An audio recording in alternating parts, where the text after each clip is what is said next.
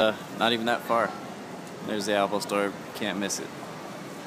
So if you go up the street from that light down there, you see that OCD, and just walk up here. It's like five shops up on the right hand side. Okay, let's go inside and take a look. See what they got. Get my laptop repaired.